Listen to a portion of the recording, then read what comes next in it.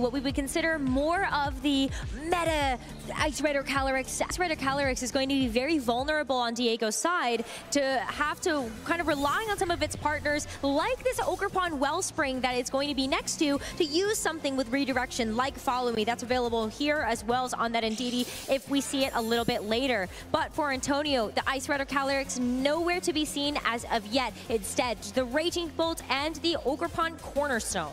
Yes, nice to see the special attack boost as well on Antonio's Raging Bolt, using that Booster Energy to get that boost in play. It also has the formidable pressure. It can go for that Tera Electric. You can see Antonio hesitating over that, wanting to deal as much damage as possible with these electric type moves. The Ogerpon, as you said here, Rosemary, can be very disruptive with that Follow Me, and it's such a reasonably bulky Pokemon as well, and can threaten Pokemon like the Ogerpon with some damage with the Ivy Cudgel. You want to try and eliminate it from play. I do not think Antonio has a utility to stop Trick Room at this point. It's going to go up, so now you just need to get some KOs on the board. Well, I love the coverage that we're going to see Antonio go for here. With this Raging Bolt going to that Tera Electric, you are able to mitigate the weakness that from something like this Ice Rider Calyrex is not going to be super effective damage anymore into that Dragon typing. But because Diego does have this Wellspring Ogerpon that can use the Follow Me, it's oh. going to have to oh. redirect away the attacks. But Ivy Cudgel, it has that increased critical hit chance, and that's going to be a one-hit knockout, leaving this Ice Rider Calyrex very vulnerable to this special attack booster energy, Tera Electric Thunderbolt. That does so much damage. Ivy Cudgel coming through, getting the knockout. One Ogerpon into the other. Cornerstone saying, I am the victor out of the two of us, and allowing the Raging Bolt to get some good damage down onto that restricted on the opposing side. Yes, Trick Room has gone up now. That means the speed will be in Diego's favor, but at what cost, Rosemary? There is at least a free switch here for Diego. The Ice Rider Calyrex is still up. It's going to be one of the slowest things in, or one of the fastest things in this trick room now that that's set up. And you have the Indeedee as well. Setting the Psychic Surge means that you can protect this Ice Rider Calyrex from these priority attacks, such as the Thunderclap on this Raging Bolt. And you also have that additional protection in the Follow Me.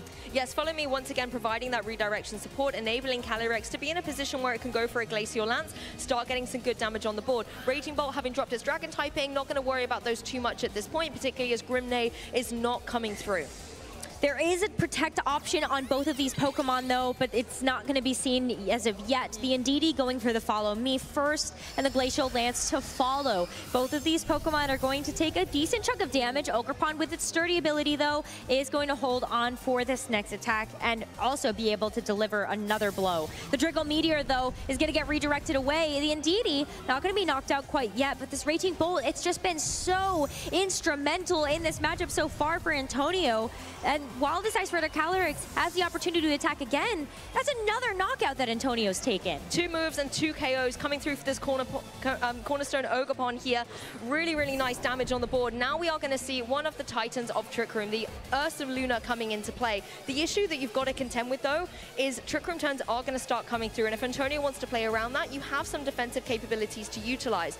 I feel like if you're Diego, though, you need to go again for this Glacial Lance, get some damage on the board. You can, I believe, easily get the two-hit KO here um, on both Raging Bolt and the Ogerpon. So that could then get you two Chilling Neigh boosts. It could. The only problem is that, as you mentioned, for some of those defensive plays, Antonio does have the option to just double protect on both of these Pokemon. It's going to stall out an additional turn of Trick Room and make sure that this Ursaluna isn't going to actually have the speed advantage. It's also going to be really tough. You know, this Ursaluna has the opportunity to go for Earthquake, and so when you talk about being able to secure a double knockout, do you actually try to give the KOs over to your Ice Rider Calyrex, or just allow your Ursaluna to try to get the job done. But Imprison here, how interesting. Just making sure that you're going to be able to go for something here. But with the Earthquake coming through, uh, that or the Headlong Rush, excuse me, actually just attacks, attacks in general.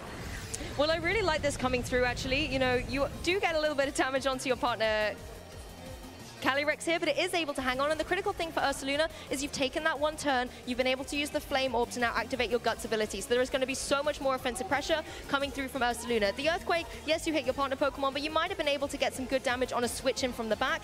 You know, if it was just something like the Urshifu, at least you're getting the Focus Sash broken and then leaving it more vulnerable for Antonio Uh, the, the, Imprison, I think that's a, a very interesting move choice. Maybe yeah. expecting that there was some type of the trick room option in the back. Yeah, maybe you do have that Calyrex, but as we actually saw in the back there, no Calyrex, no Farigiraf. So very interesting adjustment here for Antonio in this very first game, relying once again on kind of a similar strategy we saw in just our previous match. This Raging Bolt can be so dominant when you're able to put on that pressure. We saw the Earthquake come through from the Ursaluna in this previous turn. One way to disrupt that, you have the grassy terrain on your side. But with the Thunderclap, this Calyrex just goes down without a fight. That's one way to get around the speed tiers of a Trick Room, going for your priority move. There's no Farigiraf on Diego's side, so you do not have to worry about Armor Tail blocking it as the Headlong Rush comes through. Oh no, that was the Facade coming through from the Ursaluna to remove the Pokemon from play. So you do manage to get a KO on Diego's side, but now on Antonio's side, you get to bring a Pokemon in from the back and start slowing things down once again.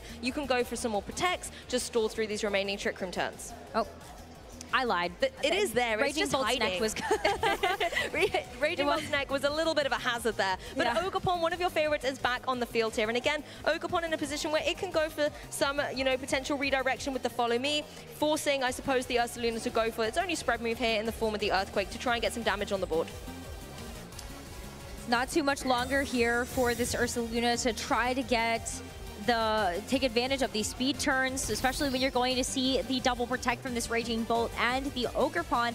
It's going to stall out that final turn of Trick Room. Really, this Ursaluna doesn't have any other option except to try to go for the Earthquake, try to secure that double knockout. But it is going to be tough now, knowing that once this Trick Room expires, you are going to see that Ice Rider Calyrex come in. Exactly, Ursaluna does struggle outside of Trick Room, and particularly when you've got so many Pokemon on the opposing side, it makes it very, very difficult in the kind of 1v other Pokemon matchup for Ursaluna. The Twisted Dimensions have now ended, so the speed is back into Ogerpon's favor. It can always just try and go here for a Power Whip just to get some damage down using that powerful Grass type attack. And Raging Bolt can kind of do its thing. Obviously, it doesn't want to go for any of these Electric type moves, and Illa Draco Meteor will be able to do some good damage.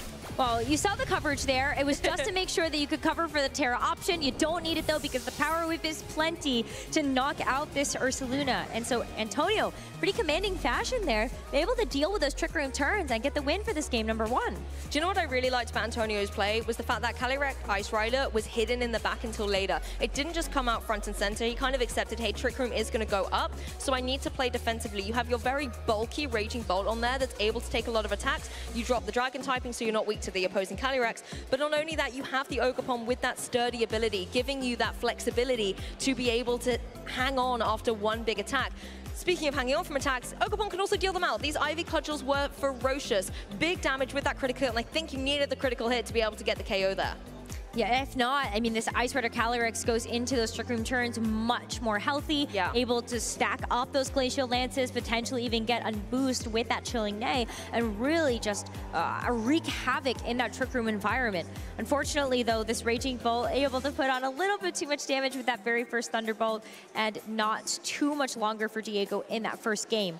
That is just the first game, though. It Maybe is. the game plan can still work. You just hope that that Ogerpon is up for a little bit longer. I would almost like to see from Diego's side the Trick Room being set up by a Pokemon that isn't your restricted. You know, allowing that to come onto the field once Trick Room is up with that full HP bar intact, enabling you to have that bulk to maybe take an attack or two and deal a huge amount of damage out. Now, Indeedee was brought to that match. Maybe Indeedee could have the potential to get that Trick Room set up, but there is also the Gallade option.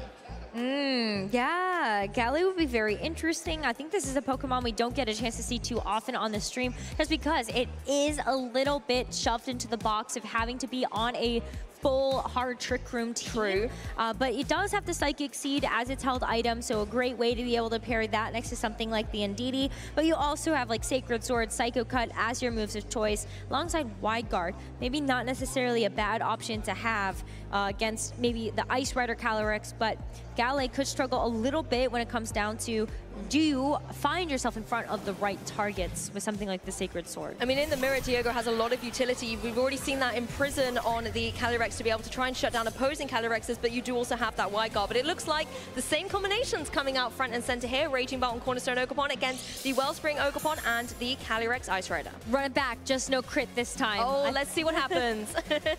The booster energy, again, going to show off that this Raging Bolt is going to get that special attack boost and that first turn of the first game. We did see this Raging Bolt go for the Electric Tera just to be able to boost up those electric type attacks even further.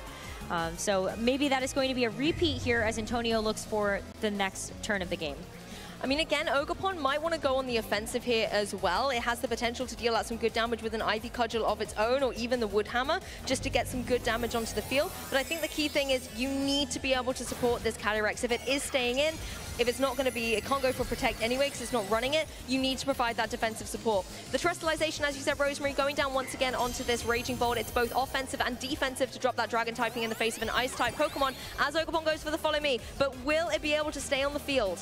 That is the question, right? Because last time it did get crit, so the Ivy Cudgel, if it doesn't crit again, this Ogerpon survives beautifully. No damage going to be taken on this Ice Rider Calyrex as the Thunderbolt also gets redirected. So while you do have to sacrifice this Ogerpon, it is for the greater good. An opportunity here for this Ice Rider Calyrex to set up this Trick Room and really get things going. This is what I wanted to see, though. The Calyrex Ice Rider in Trick Room with that HP bar intact, enabling it to have that extra longevity on the field. And now the tides really have turned. You can go for these Glacial Lances, you can do a huge amount of damage and apply a lot of pressure, and you've got your Ursaluna in nice and safe. Ursaluna, once again, in a position where it could just go for that Protect and ensure a very safe Flame Orb Guts boost, or because you know that speed is kind of in your favor and the Raging Bolt can't really go for the Thunderclap into the Ursaluna, of course, then you can go for something like the Headlong Rush just to be able to get some damage on the board against Raging Bolt would be nice to do that. I think the only issue here for Diego is the fact that this Calyrex, as we mentioned before, does not have access to Protect. Mm -hmm. So it might be a little telegraphed here that Diego would like to get that Guts boost up and running, but even in that last game, Diego was very comfortable to try yeah. to go for an attack and just let that Guts boost come up naturally for this Ursaluna. It makes him less readable as well, right? If you kind of think, oh, it's going to go for that Protect, that's what it always does, so you're not going to target into it, enables it just to get some damage on the board, and obviously it's not as destructive as it is when it has the Guts boost. But there is a terastallization. It is the Dragon type onto this opposing Calyrex. Wow, haven't seen that in a while. We have not seen that in a while. That is one of the ways you can get around a lot of this sort of elemental damage yes. that could be coming through. That, you know, Ice Rider Calyrex maybe not worried too much about seeing a Will-O-Wisp across the way instead. But wow, look oh. at that. It's going to be that long rush there into this Raging Bolt. It is a one-hit knockout. The Ursaluna is going to get the drops in its defense and special defense, uh, as you would see from something like a close combat. But I think you got the prize. You need to calm down, Ursaluna. That is so much damage, and even Guts boosted at this point in time. Calyrex going for the Imprison. That shows exactly why the Thunderclap did indeed fail into that slot, as Ursaluna not only gets the KO, but gets the boost now, thanks to that Flame Orb. A fantastic turn here for Diego. Now Antonio, this time, has indeed left the Calyrex Ice Rider at home, as well as the Farigiraf, and has brought these kind of iconic duos in the form of Rillaboom and Urshifu to the field. Rillaboom can come, try and slow down the pace a little bit with something like a potential fake out, just stall through a couple of these turns, and Urshifu can deal obviously a huge chunk of damage with something like a close combat or a surging strikes, but this Dragon Tera is so critical. Fire, water, grass is not going to be dealing damage to this Calyrex. So that's when you look at this Rapid Strike Urshifu mm -hmm. and you go, oh no, this Surging Strike's maybe not necessarily the easiest thing to take out this Calyrex. You still have the close combat, which is going to pack a big punch. But when this Ursaluna is sitting there, you, you think about this Urshifu and you go, okay, this is really the target that I'd like to see. Both of these are going to be super effective mm -hmm. into this Ursaluna. Exactly, and the Ursaluna, you know, having taken some drops, is going to be a little bit more vulnerable, but Glacial Lance going to come through first of all. Ogerpon taken right down to its sturdy, 1 HP remaining, and Urshifu is not going to be able to hang on to a follow-up from this Ursaluna or even a second Glacial Lance in the next turn. Oh, that critical hit, that's going to make that much more difficult, but the Facade actually goes into this Cornerstone Ogerpon instead, finishing the job that this Ice Rider Calyrex could not in that first turn. It unfortunately denies that boost to the Chilling Neigh, but with this close combat in response, this Ursaluna is also going to get taken out of the fight. So critical survival there on that Urshifu to be able to deliver up that finishing blow. Diego is going to be down to his final two Pokemon and Antonio Sanchez as well. I think this is a nice trade, though, however, because your Ursaluna had those drops. It was going to be a little bit more vulnerable. This is another perfect partner Pokemon for this Calyrex Ice Rider, and that's where you're going to shift your focus of your Diego. You can use this Calyrex to be able to start cleaning up this game. The Rillabooms come onto the field, but the key thing is that Indeedee is here as well, can go for that redirection. Rillaboom, though, in Trick Room, not going to enable the Psychic Terrain in there, so Fake Out is still a potential play.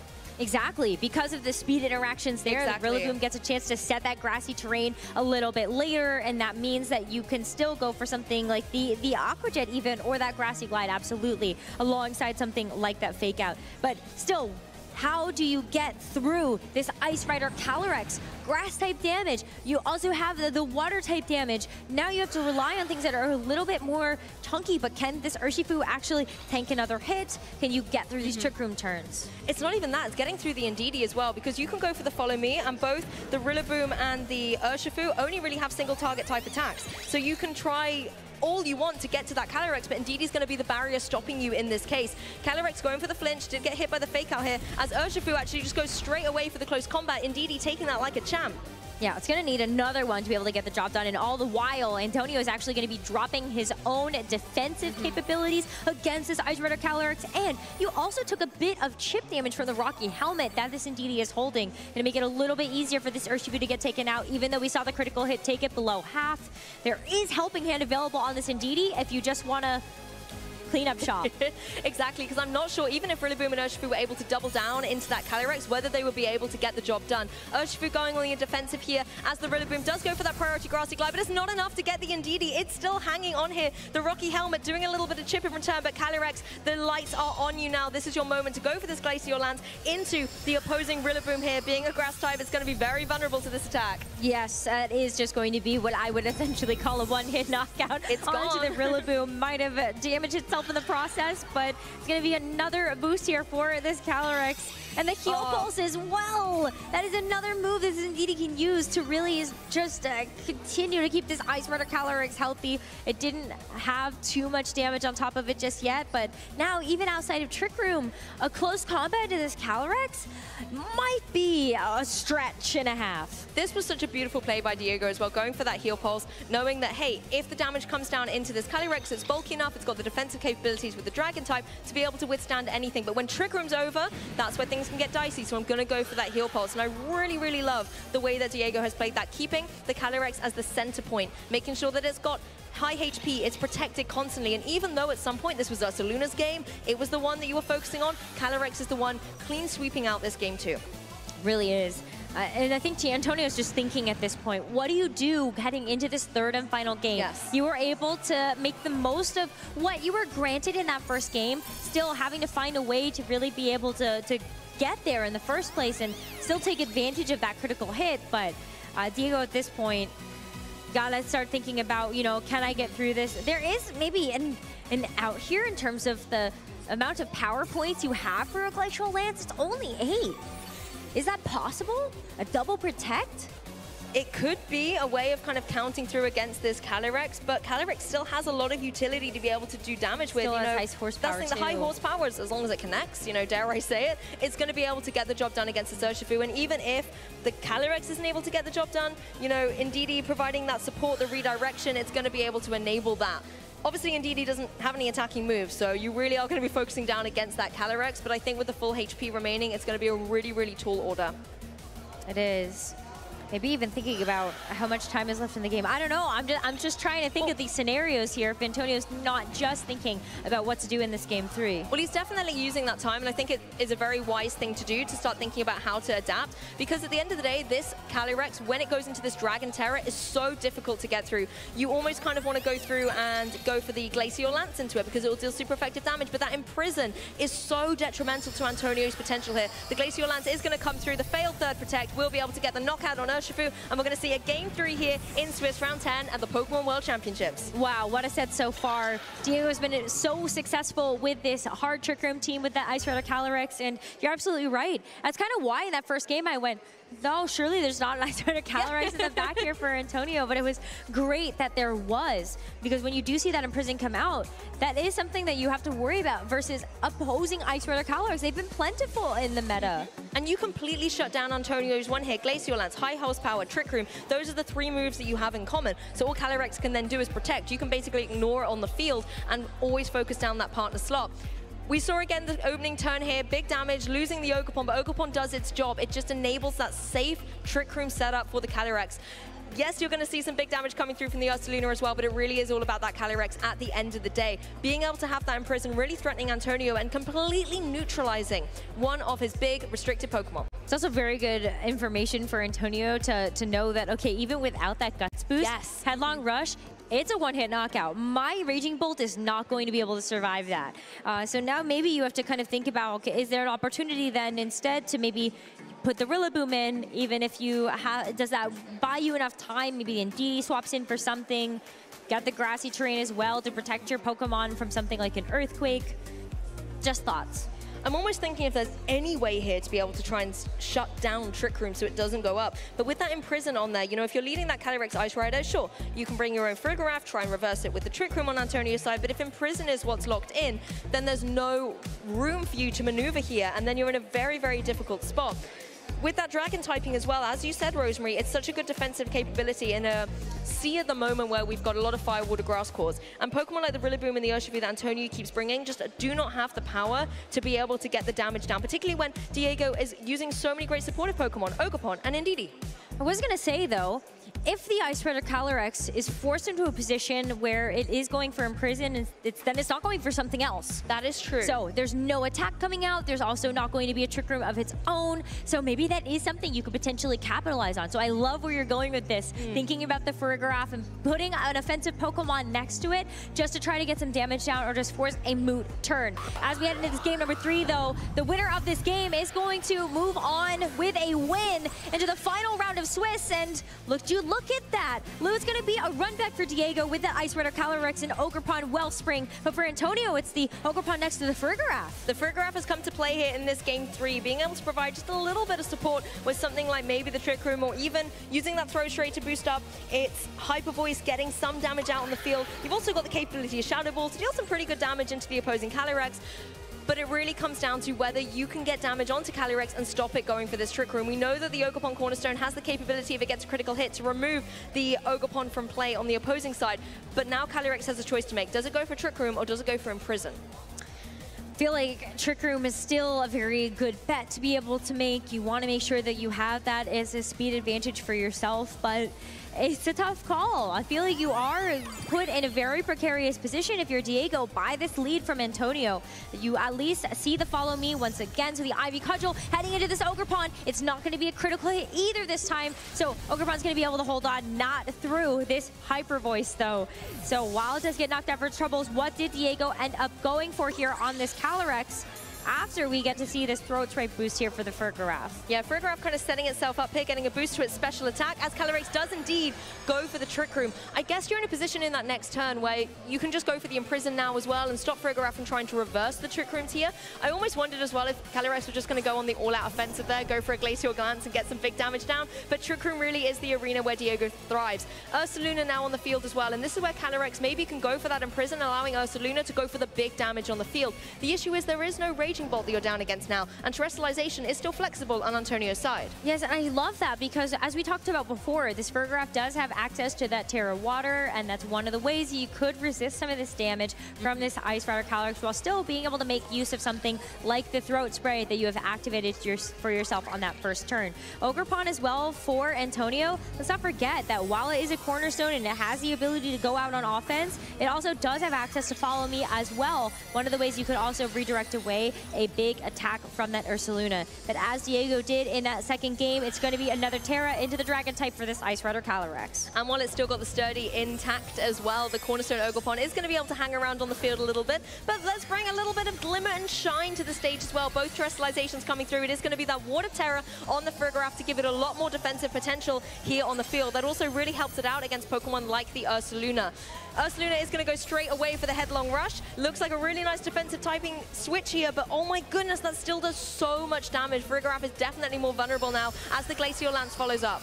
The Glacial Lance, though, with this Water Tera, is not going to be nearly enough to get this knockout onto the Farigiraf, which means that you actually have an opportunity to get some damage down if you are Antonio. The Hyper Voice, Ursaluna had dropped its special defense using that Headlong Rush, but it is going to be the Power Whip to follow up just to make sure that that Ursaluna is absolutely down for the count. No Guts activation since the Flame Orb is gone alongside that Ursaluna. Even without the drops there, that would have done so much damage from the Power Whip coming through. Indeedee, however, now can come onto the field, bring that Psychic Terrain in, and once again provide that redirection support with something like a Follow Me. Both Farigiraf and Ogerpon generally will get drawn into attacks except for that Hyper Voice, and you can see how much damage it is stacking up against this Calyrex. Unless Calyrex is able to get some KOs, which I'm pretty sure it's going to be able to do looking at the very, very low HP bars on Farigiraf and Ogerpon, it can then start getting its attack boosted as well through these Chilling Neighs and become very formidable. Antonio needs to play the clock a little bit here and look at these Trick Room turns. I think it's tough as well because even though we saw how much damage that Calyrex could do with that Glacial Lance, now you have a different modifier you have to think about. Do you actually survive the Glacial Lance if this Indeedee goes for a Follow Me? They would be able to get a double knockout, but that is why we see Antonio just try to opt for the spiky shield onto the Ogerpon. That way you are at least denying one of those boosts. Let's see though. There was no helping hand. It's just getting the Glacial Lance here from this Calyrex, but it is enough knowing that you are going to be able to secure a knockout there. Wouldn't be surprised to see the heal pulse come through here as well, just to give that Calyrex a little bit more longevity and help it out because it has to take a couple of those hyper voices as well as giving itself a chilling Neigh boost, boosting up its attack, and there comes through the heal pulse. One of the best buddies you can have by your side in the form of this Indeedee. It just completely undoes all of that hard work that Antonio was trying to do onto that Ice Rider just a couple of turns ago. But as you see the Rillaboom come in, now that Diego is down to his final two Pokemon, the terrain control is at the very least in Antonio's favor. Yes, and you do have the fake out potential here as well because the grassy terrain has overwritten the psychic terrain. You can go for these priority attacks, and we know how much damage Rillaboom is capable of dealing, particularly when using these grass type moves to boost up its, you know, grassy glides. But that's only going to really affect Pokemon like Indeedee. Calyrex is still going to be so difficult to get through. You might even need to use the Ogerpon to try and get another critical hit with something like the Ivy Cudgel into that slot, but you cannot get around the Indeedee safely. You can't, so that's why Antonio gets a chance to try to make the most out of this turn. You get the fake out into the Ice Rider Calyrex, make sure you can at least stop one more turn of damage, try to buy your time past these Trick Room turns, and just hope you got the damage down onto this Indeedee. Ogerpon still has a lot of fight left in it. And with the Power Whip, it is going to connect. So Indeedee yes. just gets knocked out in one hit. That's going to leave this Calyrex vulnerable here for Diego as these Trick Room turns start to expire. Who needs the critical hit when you can use the Grassy Terrain to boost up your Grass type attacks as well? The one issue, however, is you power whip down into a Rocky Helmet. That is going to be the last little bit of damage on this Ogerpon. But now Antonio has the free switch, brings in a Pokemon like the Urshifu here. But once once again, we're in this situation, Rosemary. We've got the Calyrex versus two Pokemon that really cannot do a lot of damage to it. But this time, Calyrex does not have a supportive Pokemon by its side. Does it have enough gas in the tank to be able to hang on against both of these formidable attackers? Well, you know that this Urshifu will be able to survive one more Glacial Lance as the Grassy Glide does not do a little bit more than a tickle. And response to Glacial Lance for Rillaboom, yeah, at least you get some damage down before it does get down, down and out for the count. But this Urshifu has a chance here. Can it do enough damage with this close combat that you can put yourself in a position where a second one's going to be able to do the job? It all comes down to this, Lou. Can Urshifu do it? Close combat comes through, connects, does a little bit of damage, puts it down into the orange zone here. But the Calyrex looking so in control. It's going to be close, especially after a bit of that grassy terrain yes. recovery. That's going to make that damage roll even a little bit more different. Close combat once again, but now this Calyrex is going to be at plus two when it goes for another Glacial Lance. Antonio has the speed now. This Urshifu is going to move first. Urshifu has to get the KO, otherwise it is Diego's game here. Calyrex hangs on, able to go with the Glacial Lance down into the opposing Urshifu, dropping its special defense and defense even more. And here it comes through, gets the knockout. Diego Ferreira victorious in this set. Victorious in the set, and we get a chance to see if he can be victorious once again in that top cut. Fantastic play from Diego.